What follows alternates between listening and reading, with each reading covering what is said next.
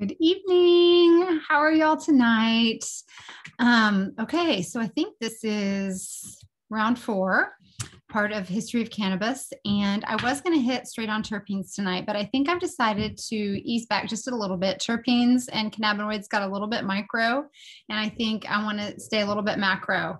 What I do want to point out um, that I feel like I miss a lot, I am passionate about science just because I love science does not mean that you have to love science. So I try going to try very hard to keep this just to the basics of what you need to know and maybe just a little bit more, but I'm going to skip through and kind of generalize a lot of things about the plants, but just highlight what makes it really cool.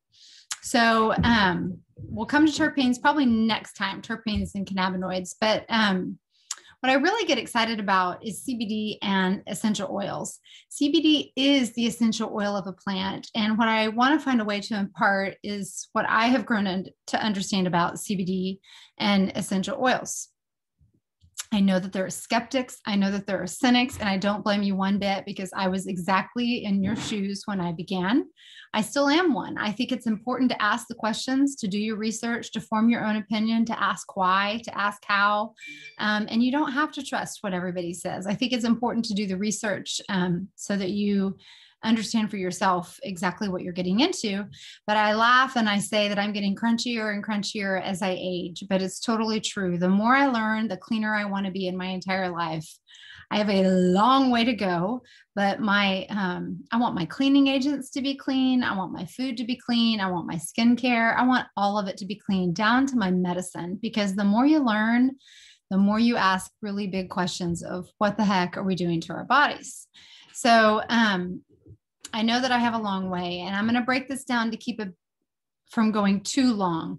But back in the 90s, when I was in high school, I remember a friend was really into vitamins and they were healing and wonderful. And I was a total skeptic, of course. I never said it, but I thought it was all a sales gimmick. This was right about the time that I was getting beginning to get sick. I was using antibiotics prescribed by my dermatologist for prophylactic use or preventative use. I had no idea the damage that it was causing to my body. I believed in medicine. I believed in doctors and I trusted everything that they said. I don't think they were trying to steer me wrong. I just think that we have grown and we've learned so much more from the 90s until now. And I had no reason to doubt them. I jumped on the essential oils bandwagon um, when my health struggles lasted too many years with not enough answers from my doctors. I acknowledged that it was a craze, but I was absolutely desperate. I was super sick. I had no idea what was ahead of me and that I was about to get really, really bad before I got any better. But medicine wasn't helping me. It really wasn't. I had doctors that were shaking their heads at me, telling me that I would be on pain medicine for the rest of your life, honey. The kind of pain that I had, pain meds didn't even touch. So I was taking this pain medicine and it kind of touched it. It definitely made my head feel better, but it wasn't getting to the root of the problem. I remember the day that I found a pit in my stomach because I realized that my doctors, multiple experts, I went all over the country from big hospitals in the US, didn't know what to do with me. They're, they were throwing their hands in the air. I was at Mayo Clinic seeing, quote, the best of the best doctors in the world. And he told me that most people with my severity of disease came to his office in a wheelchair. And that if I was on the Oregon Trail, he would bet on me making it to Oregon. That was his go get him tiger. That's that's how we left. That's how i left it. And i lost my hope. I just knew that mayo clinic was the answer. They were going to heal me. They had the answer to my problem. I just had to get myself to rochester. Um, and i had no answers. I left with nothing. My husband tried to support me. I cried the entire flight home back to houston but he was at the same loss. He was so discouraged. So i started researching for myself it's the first time I really started digging. And I started studying up on diet. And that's when I went on a massive diet that while then it was unusual, it was, you know, over 10 years ago, but it's somewhat common now. We've learned more, right? I just ate lean protein and vegetables and I got incredibly sick we actually still call it my exorcism by eating well for five days no sugars no um, nothing that turned sugars um, i detox something awful. It was the first time that I could justify in my head that homeopathic remedies actually worked. And I always had that little sign on my refrigerator that I printed out in, in frame that said food can be the worst form of poison or the greatest form of medicine. And for me, it hit the nail on the head. So I learned at that point that my food could actually heal or hurt me. And I had huge improvements. I was able to ease a lot of the pain that I experienced on a daily basis, um, but I still had Crohn's disease. So soon after that, I learned about essential oils and I studied and I researched the same way I did with everything else. And the skeptic in me wanted to know the why. I can't take something hoping it works. I want to know why it works and I want to know how it works. By being on immunosuppressants, which is what they put you on with Crohn's disease, I had zero immune system and I had the wackiest things happen to my body inconvenient, painful, embarrassing, I had horrible things happening to my body. I could spend an entire life telling you all the things that happened when you don't have an immune system to fight off the little things that your body fights off for you every day. How in the world can that be good for you? So I was truly a petri dish at this point, as I called myself, for essential oils. It was all I had left in my arsenal. It was all I had left. My doctors had no answers for me. They were my last hope, and they worked. And each time I had an issue, instead of calling the doctor, I looked in my little essential oils Bible and I found what oil worked for what. And I started healing myself. I had bleeding gums despite being fanatical about brushing and flossing my teeth. And I found an essential oil and my bleeding gums went away. Even shocked the heck out of my doctor. I had a painful cyst and I read that lemon oil took away um, the walls of a cyst. And guess what? I got rid of the cyst without going to the doctor. I understood that my family was so excited for me. They wanted me to get relief from my oils. But when it came time for them to need them, oh, no, no, no, no, they're not for me. But we're so glad they work for you. They were just as big of skeptics as I was. So it, it, you really don't believe in it until they work for you. And over the years, my husband, then my mom, and then my dad became believers because when they needed it and I offered certain essential oils for them, um, they witnessed a healing moment in their own bodies over and over again. And so now my whole family is believers, of course. So most people who know me know that I have a huge faith, but my interest in essential oils brought about my interest in why Jesus was given frankincense and myrrh. You hear that all the time in the Bible. Took it for granted, totally didn't think through it. And I wanted to know why. And I had a friend who introduced me to this book. It's called Healing Oils of the Bible. I love this. I love this book so much. And it's by David Stewart. I read, I've read it I probably read it three times, as many times as that medical cannabis handbook. But right here, I want to insert that I am not a doctor and I'm coming from a point of humility. I only research for myself to solve my problems or the problems of my friends and family. I am a constant learner and I am simply sharing what I've learned. I have so much to go but I want to share the basics because most people don't really care to go beyond the basics, or better yet, their eyeballs start rolling with science in the same way that my eyeballs start rolling when you talk to me about math. I can't stand it. So I am here to help those of you, um, for those of you who help me with math, but the basics make complete sense. I want to approach this life using the Bible as a history book. We all can agree that the Bible is a great resource for telling us how people lived years before Jesus walked on the earth and for years after. And the Bible has hundreds, hundreds of references to essential oils. Before the scientific method was the golden rule, humankind used every part of plants. We used their seeds, their resin, their bark, their leaves, and oils for healing. We used it for aromatics. We used it for spirituality. We know all of this because this is written in the Bible and other important documents that have been recovered from that time. The Apocrypha, which is in the Old Testament of the Catholic Bible, was written between 300 BC and 100 AD. And there are other books written between 200 BC and 600 AD that reference, that give us an idea as to how people lived then on a daily basis.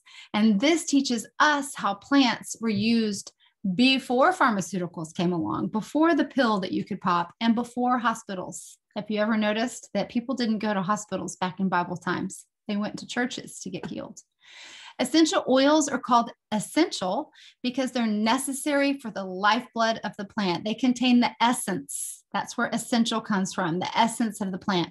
So while we view them from a perspective of how they can help us, the oils are actually vital to the life and the processes of the actual plant. God created the plants with as much intricacy as he created human beings and animals. It's truly fascinating. Plants have parts for protection. Think cactus. Uh, for self preservation, think succulents. To prevent bugs from eating them, think herbs um, with, with strong scents and odors. Every plant is created intelligently. It is truly remarkable. To me, the detail that the plants um, have. And as a believer, I believe those plants are smart because God created them and He created them for Adam and Eve and for you and for me because He left Adam and Eve in a garden, not in a lean to or in a teepee or in a shelter. He didn't plant a CVS on the corner by the fig tree and the apple tree. Their life was perfect in the garden, full of aromatic flowers. And the Bible tells us that He gave them everything they needed can you just imagine everything they needed? And this refers back to a quote that I've actually referred to before in one of our previous things that says, um, all, thing, all of the things that endocannabinoids do are exactly what Adam and Eve would want after being thrown out of Eden. You couldn't design a more perfect drug for getting Eve through the pain of childbirth and Adam through to endure a, an, to endure a life of physical toil. In other words, cannabinoids help us to cope with the human condition. That's just fascinating. So, going on to the science, essential oils are tiny, teeny, weeny, weeny, weeny molecules. 500 AMU is what they called. AMU means atomic mass units that can penetrate into every single teeny weeny cell in our body. You have to understand how microscopic that is including passing the blood brain barrier, which that in itself is enormous. Modern medicine um, actually uses. My son uh, has ADD, and they told us, you know, we can, if we could just pass the blood-brain barrier, we could cure so many diseases. We could cure Alzheimer's. We could cure all these things because they can't get things to pass pass the blood-brain barrier.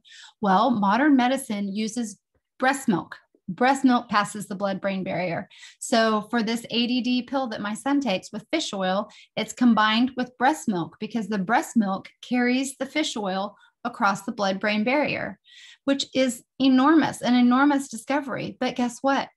Essential oils cross the blood brain barrier. So they can do everything and more, which is why CBD is getting such rave reviews about seizures and Alzheimer's and all these neurologic conditions because we are passing the blood brain barrier with CBD. Um, this is important to note that fatty oils that we use to cook with, like olive oil or canola oil, those are not essential oils. They have molecules that are much too large to get into our human cells. They're over a thousand AMU compared to 500 AMU. So they're twice the size, they're big fat globules. So, using the Bible as a history book, essential oils were inhaled, they were used topically and orally by everyone during Bible times. Their benefits are referenced physically, emotionally, mentally, and spiritually throughout the Bible and other resources from the day. Current medicines are manufactured by man. They lack carbon, which means they're inorganic. Carbon means organic. Um, no carbon means inorganic. They don't have life force that a plant has. That's what it means to be organic. And therefore, because they don't have that life force, they don't have the intelligence of a plant, such as photosynthesis. Photosynthesis, a plant is smart enough that it knows how to create its own food. Have we always taken that for granted. I sure did. I learned about photosynthesis, but it never dawned on me how smart plants are that they can actually feed themselves. So every medication that is man made has a side effect. And we know the list when we hear them on commercials. It lists a thousand things. And I work in a skilled nursing home and I see it every day. Patients who start off taking one medication and another to help with the side effects. And then they have a handful of medicine before they know it because they're all to offset certain side effects of um, that make things uncomfortable and maybe things like constipation or it may be things like ulcers but they take medications to offset side effects um, that's why we have doctors medicine can be dangerous and when mixed with the wrong medication or when it's taken improperly we need skilled chemists we need um, a large knowledge we need a nar- large knowledge base to uh, supervise the use of our medications so we don't kill ourselves. We're ultimately taking chemicals. We need chemists who know how to how those chemicals work together. And this we've learned with opiate use, actually. Medicines are not made to heal y'all. This is kind of an aha moment for me, I would say, over the last year. Um, medications are made to be on for life, and you get caught in this vicious cycle. Me, I'm on thyroid medicine. Do you know what it does? I have to take it for the rest of my life. I will never be off thyroid medicine. Um, and I have been told that because my thyroid is now dead, I will always be on it. So medicines are created for big pharma. It's made to make money. They're made, it's a business for profit. So to keep you coming back, not to heal you. And that is a very hard truth. And that is kind of an eye opening moment when you think about medications, pain medications. Pain meds don't heal you, they mask something. You don't go to the root of the problem and solve it. You are trying to mask a certain situation, which is my situation when I had Crohn's. I took um, something to decrease the activity of my immune system because I have an overactive immune system. But by doing that, it caused all sorts of other problems because I need my immune system. Who doesn't need their immune system to survive? So I'm not sure where to insert this disclaimer, so I will now, but antibiotics truly saved my life. They did. I'm eternally grateful to Alexander Fleming, who invented penicillin, the very first antibiotic, and set us on the trajectory for antibiotic use. But I was on 10 IV antibiotics at once to fight the sepsis in my body. So I'm not here to dog Western medicine. I'm not anti medication. I believe in it and it saved me and I wanted saving. I was not about to refuse antibiotics. But on the flip side, I also believe that the overuse of that long term low dose antibiotic that I used in high school prophylactically for my skin um, contributed to all my health issues starting when I was a junior in high school.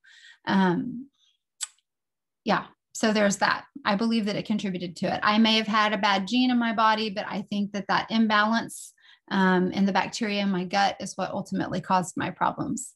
So compare that to essential oils. They don't have serious side effects. When essential oils are used, they work together in harmony versus working against each other, which we'll get to this point, but we call that the entourage effect. When um, the use of oils together actually have a greater benefit than using a single oil. They don't cause harmful drug interactions like synthetic drugs. We don't have to have the supervision of a doctor to use them. I've always admired the Native American culture and how they knew plants and they knew which plant was for what healing. When using essential oils, you don't get addicted or stuck using oils for life because they embody a healing power. They embody that lifeblood, that carbon that God made healing. They know how to heal what needs to be healed. Essential oils were everything in this world. They were everything in this world, much longer than pharmaceuticals were ever invented.